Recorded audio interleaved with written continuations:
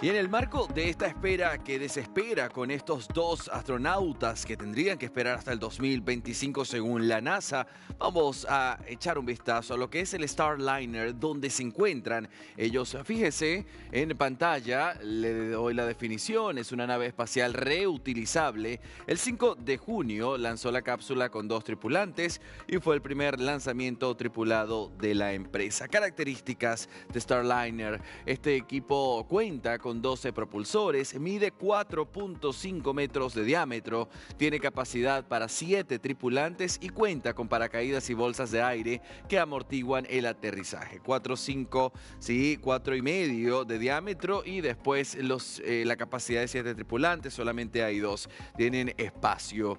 Junto a su módulo mide 5 metros de altura, tiene 28 motores con control de reacción para maniobras en órbita. Es decir, ha sido una eh, nave bien estructurada. Sin embargo, esta falla que todavía no se eh, ha determinado cómo solucionarse es lo que ha hecho que ellos se mantengan por tanto tiempo todavía en esta misión. Vamos con una vez más, la misión debía durar dos semanas y los astronautas Butch Wilmore y Sunny Williams se encuentran varados hace 71 días y Imagine usted que la noticia sea que tengan que esperar hasta el 2025. Cinco de los 28 propulsores presentaron fallas. A esto me refería al inicio cuando le decía que estos eh, cinco propulsores fue lo que determinó que esta espera se haya extendido por tantos días. 14 días nada más y se extendió a 71 y todavía deben esperar una semana más para determinar cuándo del 2025 regresarían y cuál de las dos opciones existentes es la que van a tomar. La seguiremos de cerca.